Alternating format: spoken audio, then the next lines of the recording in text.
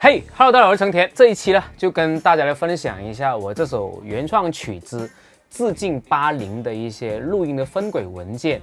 那么这首曲子呢，也在呃音乐平台上架了。那么大家想听的话呢，就点击到音乐平台里面呢去收藏，可以每天循环播放来收听啊。那么熟知我的朋友们呢，其实都知道《致敬八零》这首曲子呢，在其实在几年前它已经有了这个 demo 的了。后来是因为这一次，我觉得呃一定要把它做成一个成品，因为它也是咱们一般那的一个产品的演示曲，是不是？所以我觉得一定要正儿八经把它弄好一点点。那么我想讲一下在音色构思的方面是怎么样的。首先呢，曲。曲子它叫做致敬八零，其实就是致敬了八零年代的音乐风格，还有一些大师这样子的。所以我是运用了很多在那个年代，比如说英国马姆斯汀啊，还有 Paul Gilbert 啊、Steve 啊、Joe Satriani 等等大师的一些乐剧，还有他们的一些作曲手法来设计这首曲子的。那么有一点很重要，就是虽然说是致敬八零，虽然说是致敬三十年前的那个时代。但是我是希望音色会比较偏现代一点点的，所以有两个音色我是一定要用现代的音色去表达。第一个就是鼓，第二个就是吉他。那当然了，我们重点就要分享一下关于这个吉他音色的一些设计怎么样的。因为我这一次录音呢，全都是用软件效果器的，我并没有用到一些实物，比如说箱头啊，还有一些综合效果器，我都是用到了软件效果器。那么这里面就存在一个问题，就是你们都知道我是。Nuno DSP 的深度用户，就是我非常喜欢他们家的东西，而且他们家的东西的品质非常的好。但是以我现在手上现有的音色来讲，比如说 John p e t r u c i 啊，还有 Raby 啊，他们的音色呢都。不大适合这一首歌，真的是很神奇。虽然他们也是比较偏现代的音色，但我还是感觉会差那么一点意思。这样子，等一下给你们听一下，你们就明白我说什么了。所以当时在录的时候，我就比较焦虑，就是说，哎，应该哪个音色会比较适合一点点。后来 Luno DSP 那边呢就跟我讲，哎，要不你试一下阿萨托最新的那个签名款那个音色，可能能达到你这个需求这样子。那么我就试用一下，哎，结果发现这个音色还真的蛮适合的。好，所以接下来呢给大家来听一下我这个致敬巴黎里面的音色，对吧？这个阿萨托的签名款在这里面，它是为什么这么契合这首歌的主题？还有我一些编曲里面的设计啊，就里面弹了些什么东西啊，还有配器啊。因为你们在听混好音的版本以后呢，不一定能听到这么多的细节，因为有很多东西是为了做一些避让啊，不要要抢了主体的声音，可能把音量说的比较小一点点这样子的哈。那么接下来。我们就来看一下这个分轨好不好？然后我们先看一共多少轨吧，一共是有七十五轨，当然这个是算上了效果器轨哈。然后最上面是鼓组，然后这里是有贝斯，对吧？然后这边有一些哎，就是我中间的时候有一段人声的一个伴奏在里面的啊，还有效果器轨，然后还有羽键琴啦，还有合成器的铺底啊，还有我们吉他的和声啊，还有各种铺底的音色，还有自动爬音啊。然后管风琴啊，还有我的 solo，然后下面也是差不多的了。然后这边就是一个呃扫弦，对吧？还有分解和弦啊等等啊，还有中间这个人声的独奏啊，还有节奏吉他在这个地方。那么所以大家看到了，其实配器还是蛮丰富的哈。好了，我们现在直接从前奏开始听啊，前奏这个地方我们听一下。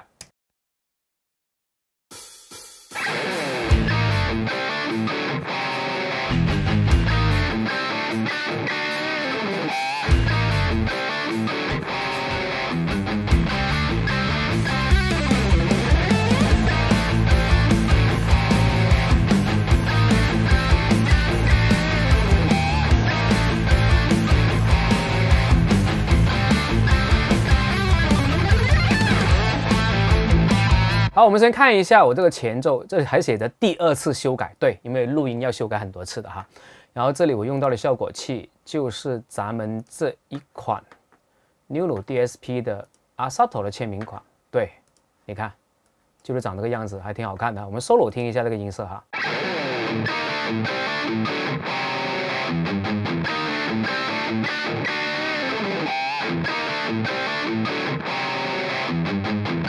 首先，我觉得阿萨托的这款音色呢，它是比较偏英式一点点的，因为我个人是比较喜欢英式的声音，对不对？因为他们本来有 Mesa Boogie 的那个建模，但是我个人就不大喜欢美式的声音，因为我觉得它相对比较冰冷一点点。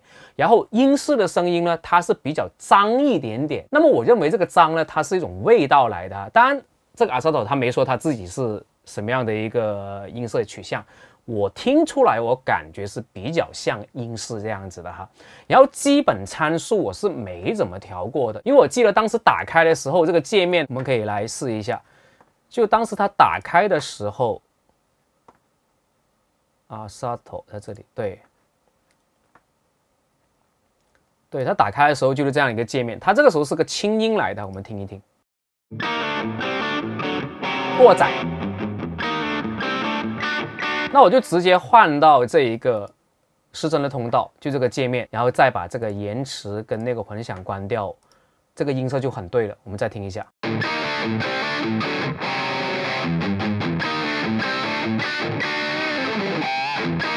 对吧？这个选音色的重要性，就你放进去。就应该感觉是对的，而不是说放进去以后你可能还要想半天，这里 EQ 要怎么样调，然后这里要怎么样切。如果你有这么复杂的东西在脑海里面的时候，其实就已经证明这个音色不大适合这首歌，对吧？然后接下来我们再听一下 solo 的部分，就是主歌的部分，对吧？这边是这样子的，相信大家应该都很熟悉了哈。我们再听一下。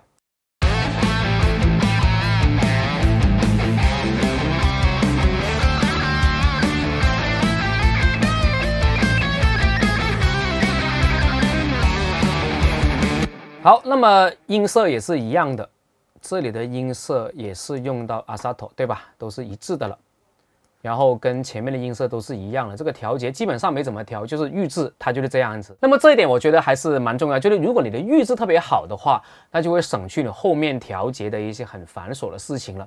那么这里呢，我想给大家来演示一下，就是如果音色没选对，当然这个对错只是我自己的标准，就以。这首歌为主这么一个标准来的哈，那么如果这里我选另外一个艺人的一个音色会怎么样？比如说我选一下这位兄弟的，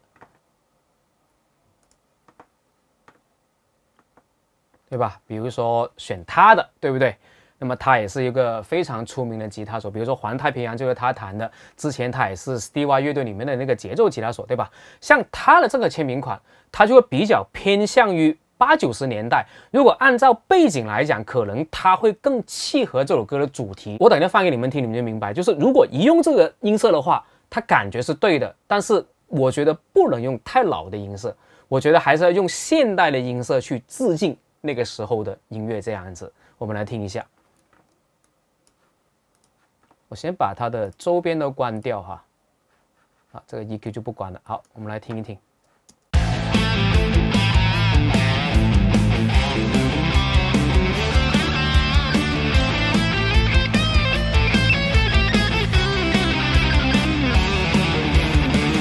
对吧？大家能明白我那个意思吗？对吧？它听起来那个音色会比较老一点点。当然，这种老它不是个贬义词，不是说它不好，只是说在这首歌，我希望用新的音色致敬旧的音乐的时候，可能它就不大适合。我们再听一下阿萨托的那款。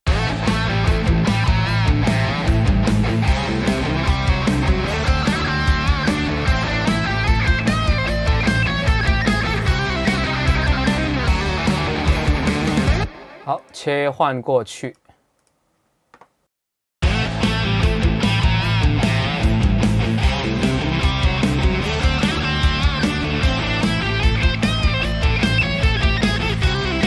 对吧？它给我的感觉，这个音色会更紧一点点，但相对来讲呢，就会薄一点点，中频不是很多的感觉。那么，所以这里呢，就是一个取向问题了，就是我认为阿萨托的音色在这一刻会比较更适合一点点。那我们再换一个，比如说我们换一个中普休息的好不好？这也是我之前有推荐过给大家的，我们都来听一下。对，中普休息的，我也是不调任何东西了哈，直接用它预制。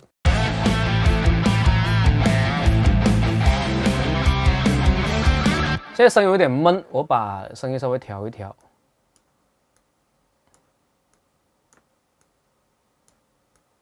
把这个打开吧。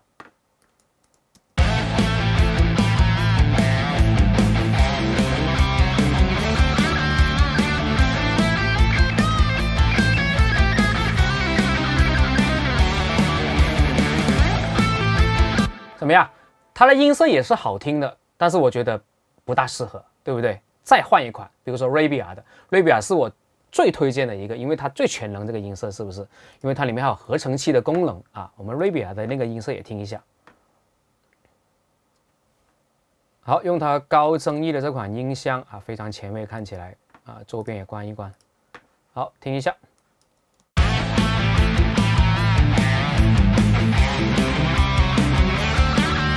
我要稍微调节一下，感觉还是有点闷闷的。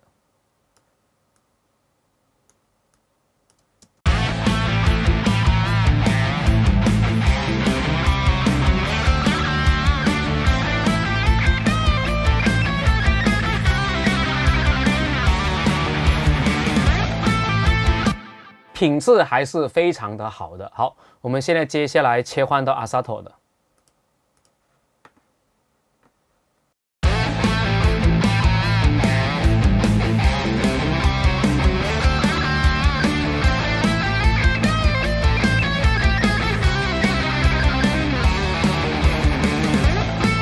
对吧？其实这里面。这四个音色，首先我认为品质都是没有问题的。我还是那个观点，要更适合当下的音乐去选择这个音色，是这样子的啊。所以这里没有一个高低好坏之分。所以为什么我们要买这么多音色？就因为你要去哎。伺候我现在当下的东西是怎么样的？所以我认为我这个曲子，我这个鼓的音色，然后加上阿萨托的这款音色，我认为是最适合我这首致敬八零的。好了，我们继续看其他分轨哈。然后音色上面，solo 上面我就用了阿萨托的这个签名款，对吧？然后节奏吉他上面呢，我是没有用这款音色的，因为我觉得他们要有一点点音色的区别这样子。所以在节奏吉他上面呢，我是用了。另外一个人的签名款就是 John Petrucci 的签名款，对，就这一个，而且预制就是他这一个 Classical 这个 Rhythm B 啊，这个东西啊，就是非常经典的一个节奏的一个预制这样子哈。让我们来听一下它的音色是这样子的。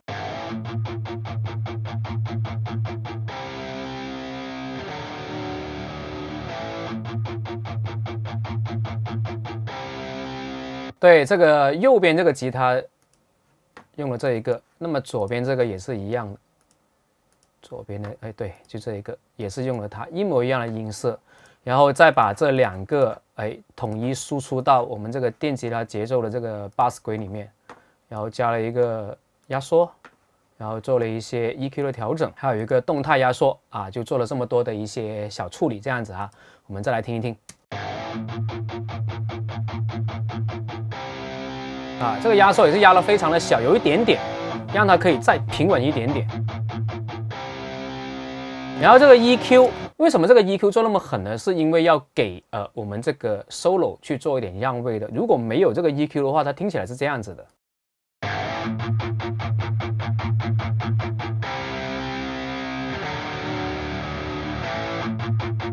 但我觉得这个是比较吵一点点，所以我就把它哎做了一些处理。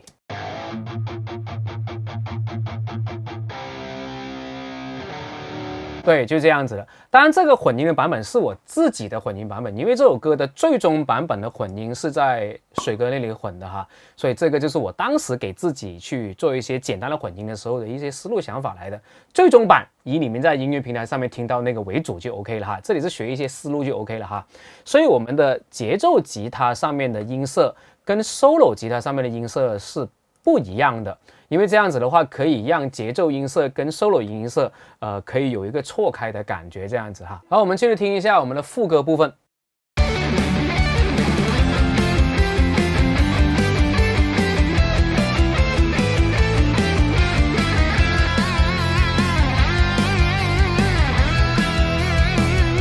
好，副歌部分呢，就出现了吉他的和声。这里我们看一下用了哪个音色先。在这里，哎，这个呢也是阿萨托的音色啊，基本参数没怎么变的。弹了什么东西，我们可以单独 solo 听一听啊。弹的东西是这样子的。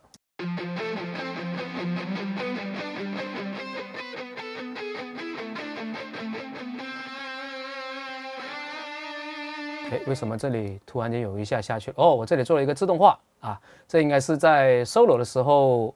应该是比较突出，我把音量稍微拉下去了一点点哈。好，我们就搭着主 solo 来听一听，主 solo 在这里，听一下，一起听吧。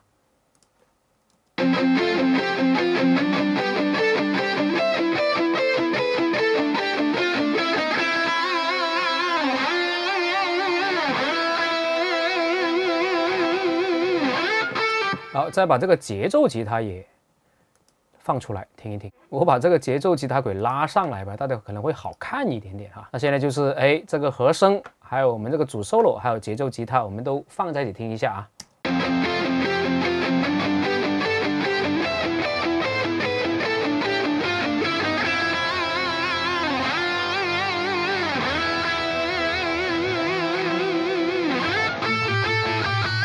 好，我们就接着往后面看，然后就到这一个呃中间的一段大 solo 前的一个比较偏新古典的一个乐句啊，它是这样子的哈。那么音色我们就不用看了，它就是阿萨头的音色，好不好？我们听一下，它是这样子的。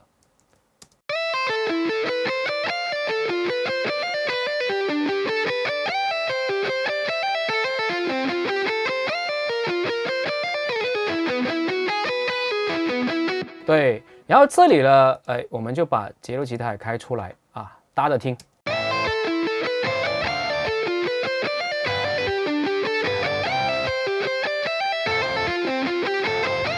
对吧？它节奏感是很强的。然后这里呢，其实我是做了一个这样的设计，就是我把这一个东西加在里面去了，就是人声的这么一个类似那种教堂里面合唱的东西，来做一个铺底的音色，它听起来是这样子的。就这一段了，我们听一下。我们单独先听一下这一段，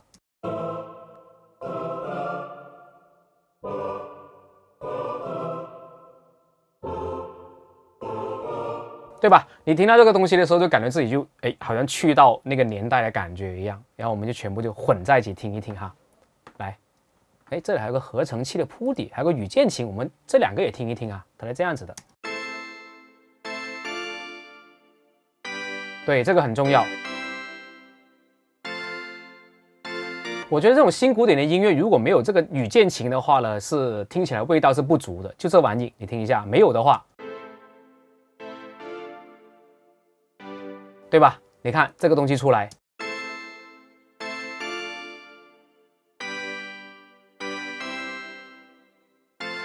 对吧？是不是那种 那种感觉就对了，知道吗？好，我们就全部混在一起听吧。我们就把这个人声放出来，合成器还有这个。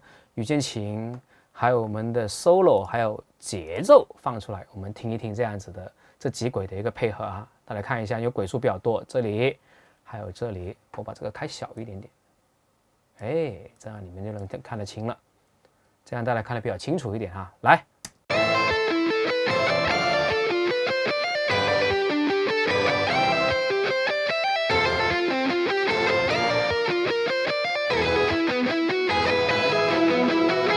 对吧？好，我们现在把所有的轨道打开，就包括鼓啊、贝斯这些都打开，我们再听一听，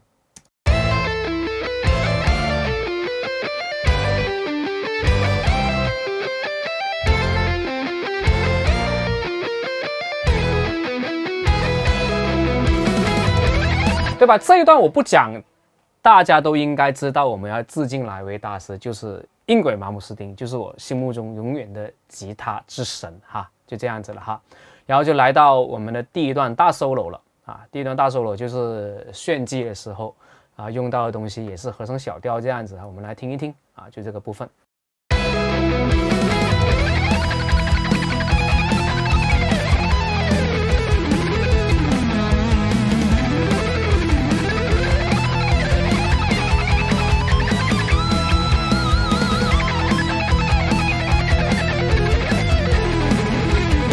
这一段除了 solo 是炫技以外呢，其实我在这个呃铺底那个地方也是做了一些合成器上面的一些小动作的。我们先听一个，这一个啊，就绿色这一个，它上面有一个铺底的音色，它音色是这样子的，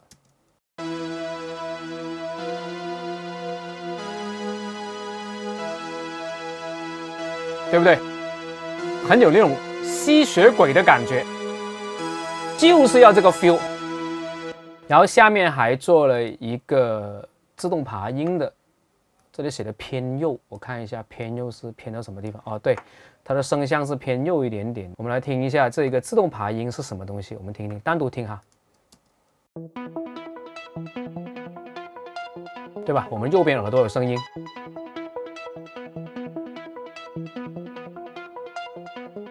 对所以这一个合成器的铺底加上这一个自动爬音它是这样子的一起听。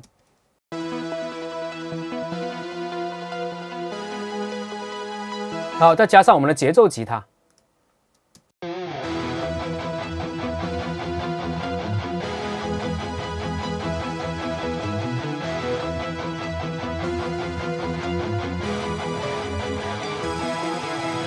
对，这里有个小碎花，我是特别喜欢这个哒哒哒哒哒哒哒的这一段。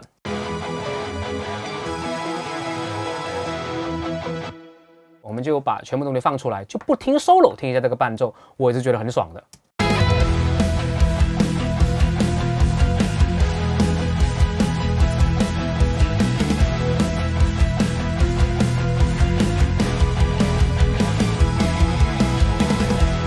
对吧？特别那个鼓点卡中那个节奏的时候，我就觉得特别爽，好不好？这是我们的第一段，然后第二段大 solo 的时候呢，其实是转到了这个 B 小调上面去的，就这一段，就是这一段了。我们来听一听啊。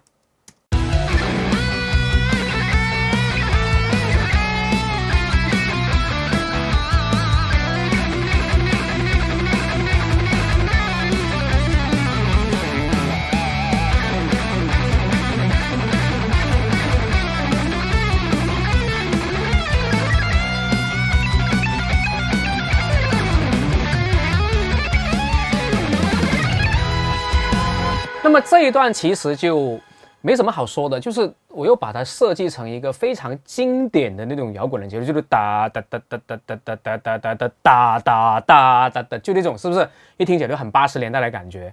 然后把配器换了一下，因为之前是有一个那个合成器的铺底这样子，是不是？那现在没有了。变成是管风琴的铺底，因为我觉得八零年代的摇滚乐必须要管风琴。到现在我也是觉得，只要是摇滚乐，你如果没有这个管风琴是没有灵魂的啊！它听起来是这样子，这个管风琴，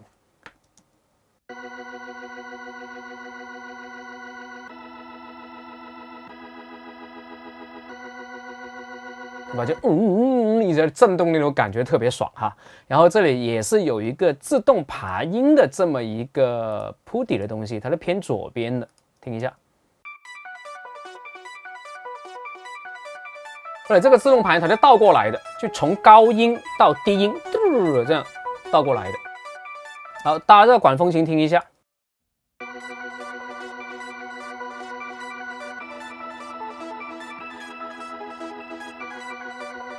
当然，这是我自己编的时候觉得这样子很爽啊。但是水哥混的时候，可能把我这个自动排音他收的比较小，因为他觉得有点影响了我主 solo 哈。他这个不重要啊，你们可以听一下我这个幕后的故事啊。那我们现在就把这一个全都打开，不要开这个 solo，我们听一下伴奏是怎么样的哈。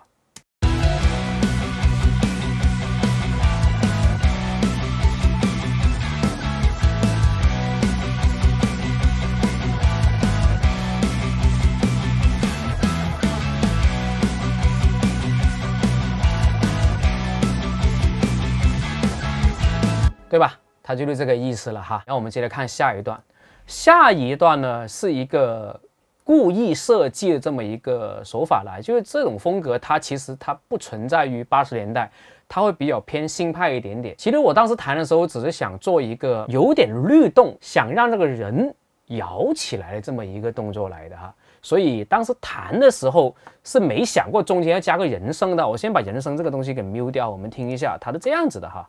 它节奏型的这样子的，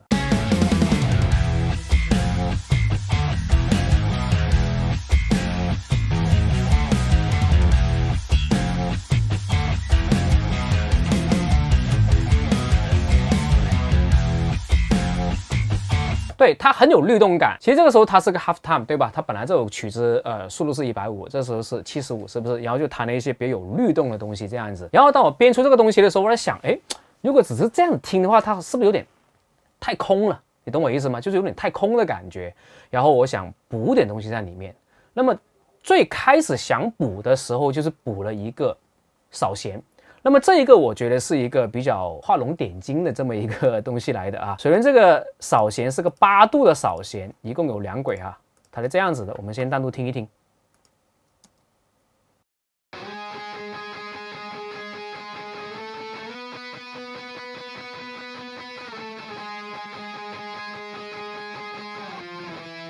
对，但其实这样扫弦，它只会让这个音乐更加的丰富，但是这个氛围感是不够的。你们懂我意思吗？就是它可能让你听起来更满一点，更厚一点点，但是氛围感是不对的。所以我当时又想了一下，我应该加一些更大的效果在里面，所以我又加了两个这样子的效果，就是这两轨，对吧？一个两个都是混响了，我们来听一下，它加出来是这样子的效果。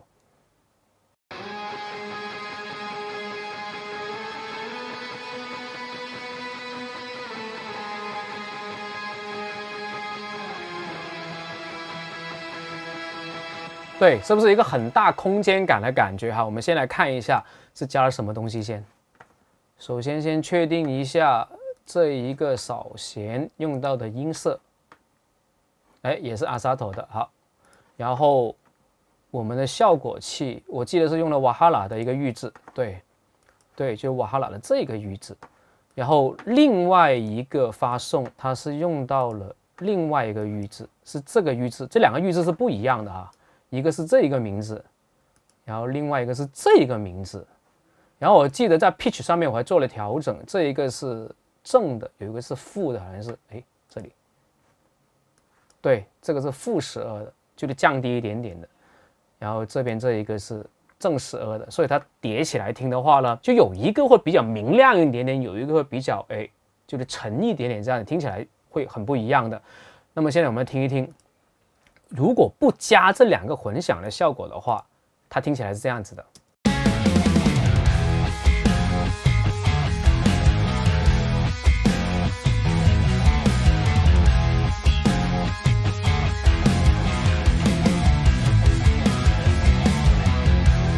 对吧？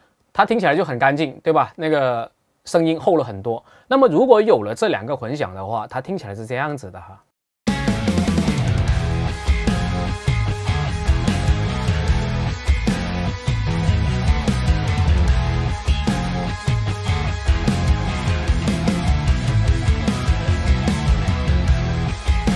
对吧？是不是听起来这个空间感跟氛围感就会好很多？是不是？然后下面还叠了一个分解和弦，这个分解和弦弹什么东西？我们听一听。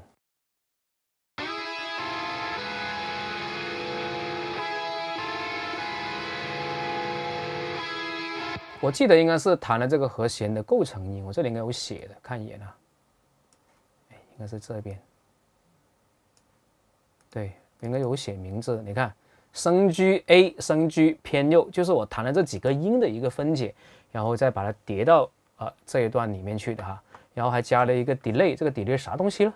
哦，也是瓦哈拉的，啊，是个 tab 的 delay，是个磁带延时，然后用到一个比较现代的模式，然后一边是四分之一音符，另外一边是八分之一音符的，我们听一下，单独听一下，如果没有 delay 的话是这样子的。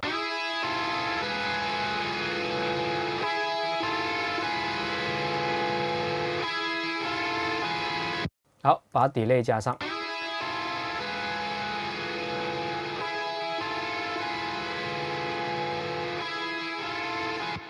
就是空间感会更够一点点，然后它相对来讲那个音色会更加靠后一点点，因为本来这个东西它就是铺底的，它没有必要去抢主角的风头，是吧？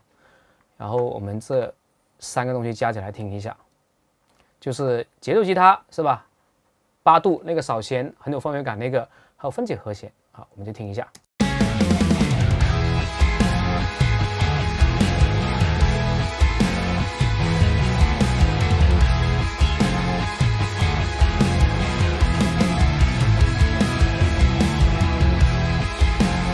对吧？这样听起来就很有那种很沧桑的感觉，对不对？啊，有点中东的味道在里面。然后这里面还有一个，我觉得是一个比较画龙点睛之笔，就是这一个人声的主旋律。这个人声单听它是这样子的，就有点很惨的感觉啊，听一听啊。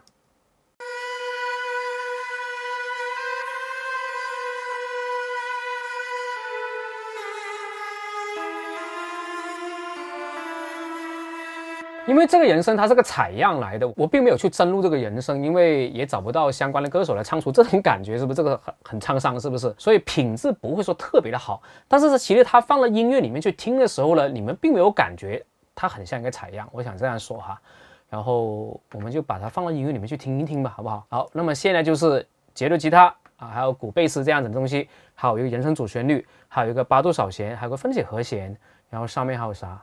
啊，应该没有了，下面就是贝斯跟鼓了哈。好，这段也就是我现在非常喜欢的这么一段，我们来听一听。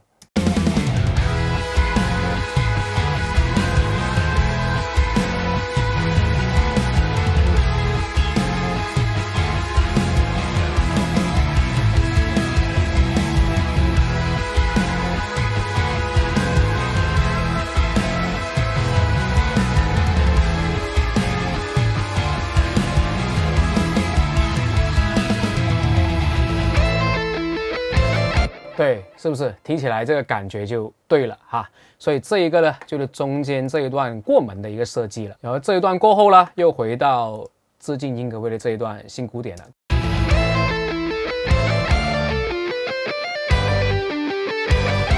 好，这里就不多说了哈，后面就没什么了，就跟前面是一样的咯。然后就进入到我们的主歌部分，对吧？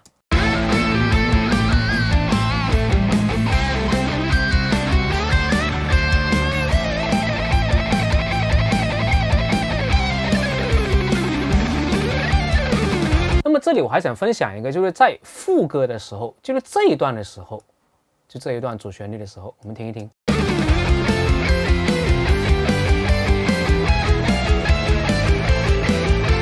对吧？我们刚刚已经说了，它有一段主 solo，还有一个其他的和声，对吧？其他和声放在这两边，然后中间是主 solo 这样子，然后还有一些合成器的铺底，对吧？我们听一下合成器的铺底是这样子的。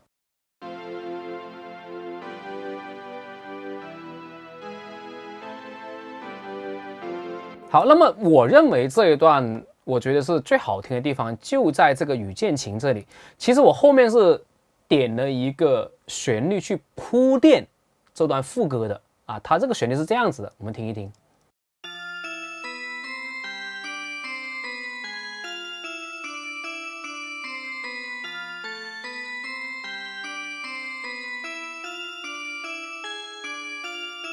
就是我认为这一段是简单好听又实用。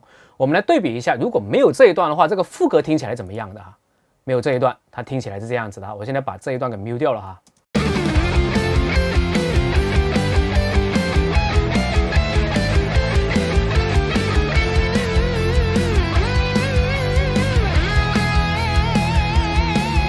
好，现在把雨见情加进去，留意了啊。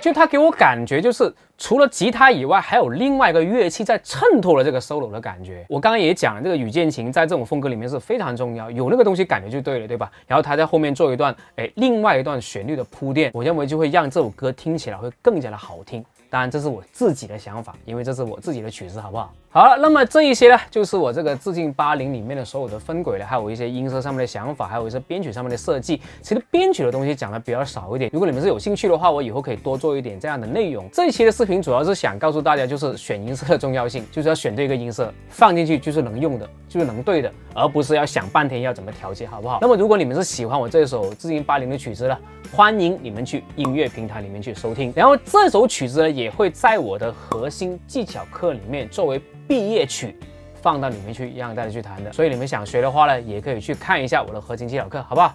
那么希望我这一期的视频分享呢，可以帮助到大家。我是成天，我们下一期再见，拜拜。